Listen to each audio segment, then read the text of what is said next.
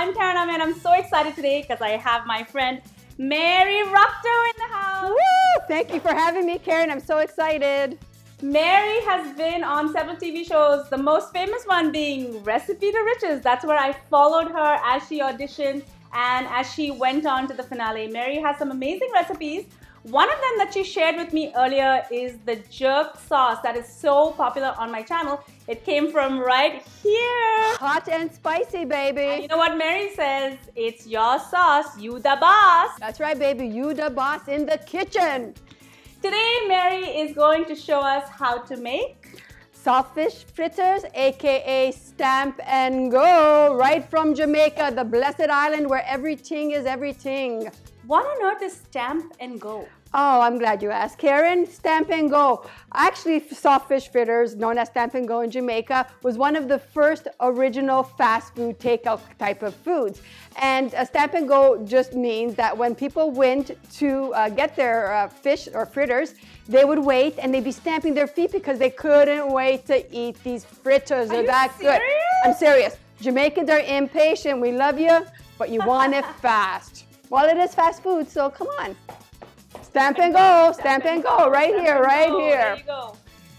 So before we go any further with this recipe, Mary, I just want to ask you one more thing. What makes your uh, saltfish fritters unique?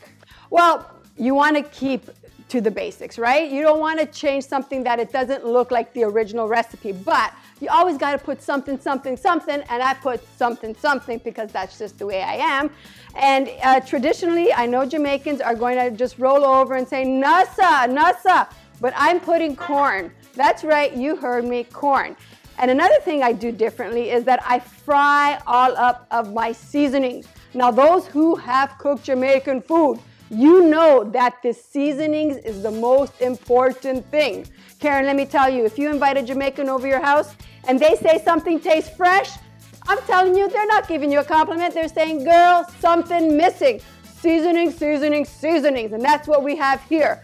So another uh, change that I made, or an addition, because you know me, something, something, I also put cilantro. That's gonna be a little bit later, but cilantro is fresh, it's delicious. If you don't wanna put it in, don't put it in. It's your recipe, you're the boss. We're just giving you some ideas, baby. and speaking of something, something, there's something about Mary. So before we go any further with the recipe, make sure that you're subscribed to my channel and make sure to ring the bell. That's YouTube's new bell icon that will notify you every time I upload a new video. Now, Mary, let's start cooking. Are we ready? We're ready. We're ready. We say get with the music, we say go with the flow. I said one for the money, we say two for the show. Step to get ready. Okay, so now Karen, what I did was I put some oil in the pan. We want to get it nice and hot before we start uh, frying up our uh, seasonings. So for the saltfish fritters, obviously we have saltfish. Tell me about the saltfish because I've never used this before. Like, where can oh. I get it? How oh, what? No saltfish, Karen? I know Jamaicans are saying, what? I can't saltfish. saltfish virgin. Oh, she's a saltfish virgin. Don't worry. We're breaking her cherry today. So saltfish you can get anywhere, any grocery store. Uh, it comes in packages and you usually find it in the fridge section, usually where the fish is and it's salted, so it's very salty. It's cured and it's for preservation, obviously. So it's salty, salty, salt, salt. Did I say it was salty? It's salty. So what you need to do is soak it overnight in a big bowl. You put cold water, you put your saltfish, and change the water several times throughout the 24 hours. Or you can do like us Jamaicans. And what we do is we take the saltfish, we put it in a pot, we boil it up three times, changing the water each time. And that way it helps it cook and we're good and the salt gets removed but it always have a little bit of salt so be very careful when you're adding additional salt but you don't have to boil it you don't, don't have to boil it. No. Good to know. Okay. So as I said a little bit earlier, seasoning, seasoning, seasonings. Jamaicans love their seasoning. So quickly here we have some onion. We have scallions, which uh, North Americans call green onions. We have the Scotch bonnet pepper, baby. Wow. Hot, hot, hot. That baby packs a punch of heat. So you use as many as you want because what are we? You the boss in the, the boss. kitchen. It's the boss. And we have garlic, not garlic, we have garlic there. So remember, seasoning, seasoning, seasoning, red peppers. We have tomatoes. We have allspice, fresh thyme. We have garlic. I know Jamaicans turn away, turn away, but my corn, I love it. If you don't want to add it, don't add it. And of course, the star, the saltfish. Karen is introduced to saltfish. Woohoo! So let's get started. We got a nice pan. It's nice and hot. I can feel it. Here we go. Oh, that's what you want to hear, the sizzle. Sizzle. Right, Karen? We have sizzle. It already Can you smells. remind me again what's in here? There's So we have red pepper, we have scallions, aka green onions, Yep. and we have um, onions, regular, uh, Regular regular white onions, onion. white onion. If you want, you can use red onion. It's yeah, like I said, you know what? You use what you have in hand, but this is very important. And like I said, for Jamaicans, the Scotch bonny pepper and uh, the uh, the scallions, very very important. Okay.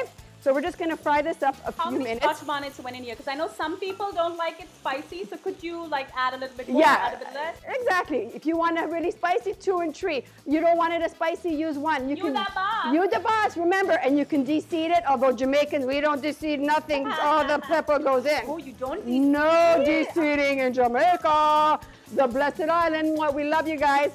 And Jamaican food is really flavorful. It has just a pack of punch of oh yumminess. And remember something something. So in goes our tomatoes, which I chopped and Karen helped me chop. And then we need a little bit of seasoning, more seasoning with uh, allspice and thyme. Now, I don't think it's traditional that people add allspice, but again, I like something something. Mary likes something something because For a lot of people that don't know what Jamaican allspice is, it's also called uh, pimento. Pimento, Pimento berries, and you can get them in most stores, like even regular big box stores. Just look for pimento, and they look like big peppercorns. Yes, but exactly. they're not very dark, and they have an incredible, incredible, flavor. incredible. Most people think allspice is so many spices. It's not. As No. Karen said, it's just one berry, the allspice berry, okay? The pimento berry. Okay. So there we go. We got our garlic. Mm-mm-mm. Garlic, garlic makes everything better. I love it. Keeps the vampires away. Keeps the vampires away. That's what we want. Okay, there we go. And the corn. Okay, it's good. You don't want to use it, don't use it. You can even use callaloo, and if, for those who don't know what callaloo, it's a it's it's very much like spinach. It's in the spinach family, and it's grown in Jamaica. So you can use callaloo. I even do this with ackee. So it's like eating ackee and saltfish in one bite. It's so good. And then of course we got The fish. the fish. Karen, first, first, first time. Okay, and there you go. And that is it. Basically, two more minutes of frying.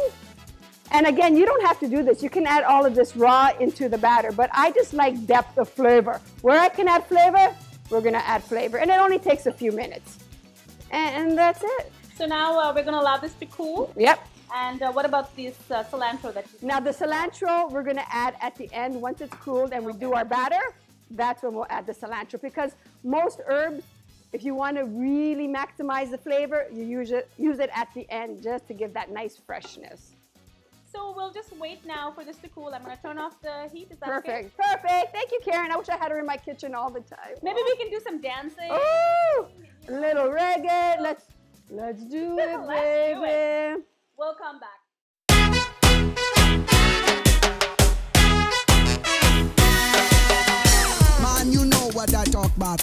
West Indian flavor, man. All right, Karen, now our saltfish fritter mixture is nice and cool. We can get started on the batter. This is the way I do it, but it works. So here we go. We have our eggs, just regular eggs from the chicken. Thank How you, chickens. We have two eggs. We thank our chickens for our eggs. Cluck, cluck. We have a little bit of milk. I'm using 2% How much milk? About half a cup, half a cup right here. You might need a little more. Always keep a little more on hand just in case if the batter is too thick. Just a little mix here. Now you don't have to use, if you don't want to use milk, if you're intolerant or whatever, you can use water or even coconut milk. It'll give it, milk is yeah, uh, substitute. mhm, coconut. I love co- coconut. I put that in everything. Okay. Oh, almond milk. Or almond milk too. That's a great suggestion. In goes our flour. That's a cup, no, sorry, three quarter cup flour and three to four tablespoons of cornstarch. Why I add cornstarch, you ask? It makes it even more crispier. Oh, what a Ooh, great idea. yeah. Now, is this, uh, you can substitute the flour as well, I presume, right? For, Yeah. For gluten-free flour, can- gluten intolerant? Absolutely. Abs- I want everybody to enjoy this. Okay, so don't overmix because we don't want to overwork the gluten. You know, we're not making bread, which in, in which case you want to. But this, you want a nice, light, crisp texture. Okay, so there you go. It's done. That portion is done. That's it. That's it. Simple, simple, simple. Now we'll add the star, the salt fish mixture. Right in there, right in there, baby. It goes all in. Oh, it smells so good. You know what? You're totally right about this corn because it looks amazing. It's See? so much color Mm, in here. know, there's something about Maria. as she said. I'm telling you, something, something. I like something, there's something. something, something about Mary. There we go. We're just going to mix to combine. And you might think that, oh, that's not going to be enough flour or milk, but trust me, it is going to do its thing. Perfect. There you go. And it's done. Remember, one rule, don't overmix. And we're done. Now we can start frying these beautiful babies and we can eat crispy, light, yummy, flavorful. What more do you want? Softest fritter, stamp and go right here in Karen's kitchen. Before we leave, we forgot my one other something something, and that is the cilantro. Now, if you don't want cilantro, don't add it. You can add other herbs, but I love cilantro. Now we can start frying these bad boys. Okay, Karen, now it's time to fry up these beautiful babies. The batter is ready for our saltfish fritter, aka Stamp and Go. We got our nice pan with our oil nice and hot. How do you know if it's hot?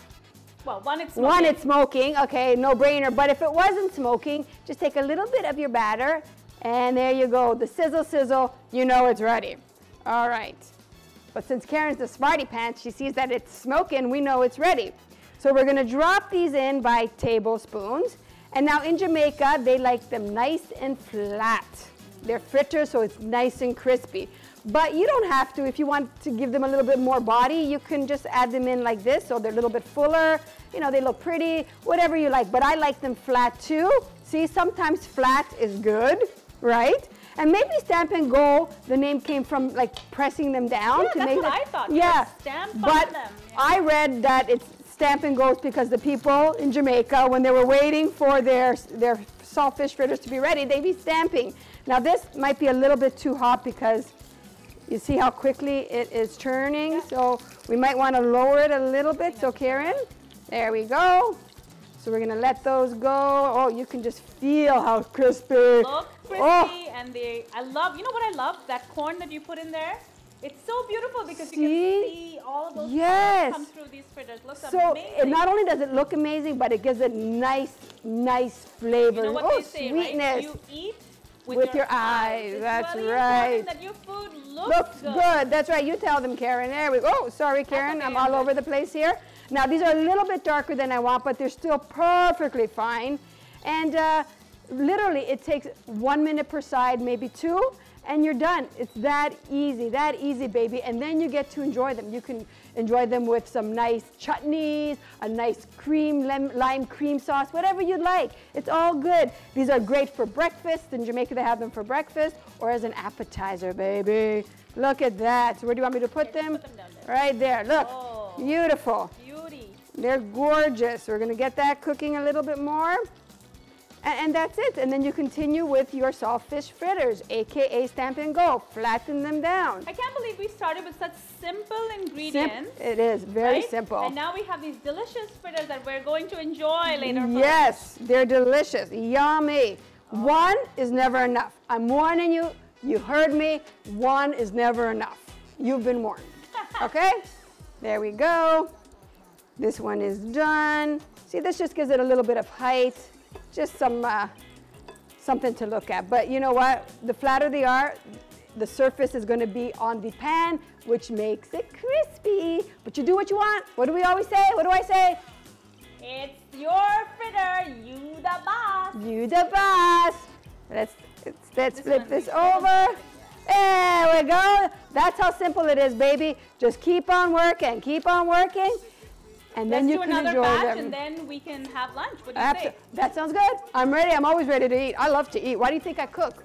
And Jamaican food, mwah. We love Jamaican food because we're always craving the Caribbean and Indian food Craving with a cake. with a K.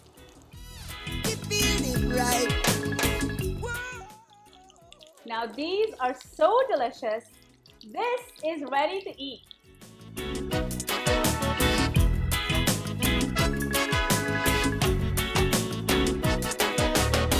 Sit up We say listen and pay attention. Say yes, I call the people want you hear this, you want. So una understand better, pay attention. You hear this, survive upon the cool crown microphone stand. Too much just feel the groove, man. You know we fly. We feel right. You know. These look incredible. I love the color and they smell amazing. Thank you so much for coming to the Kravings Kitchen and sharing this delicious recipe for salt fish fritters with me. Cheers, Mary. We're going to have an incredible lunch. Thank you for having me. You're I had so much fun. Kravings right here. Subscribe. Make sure that you subscribe. Also share my channel and my videos with your family and friends. And ring the bell. That's YouTube's new bell icon. That's going to notify you every time I upload a new video. And follow me on all of my social channels. I'm on Facebook, Instagram, Pinterest, Twitter, and even Snapchat. Until we see you again, have a great day and happy eating. So delicious. Bye. Um. And they look incredible. Thank you, Mary, so much for coming by to the Mm. Kravings Kitchen and teaching me how to make these delicious salt fish. I was going to say crust.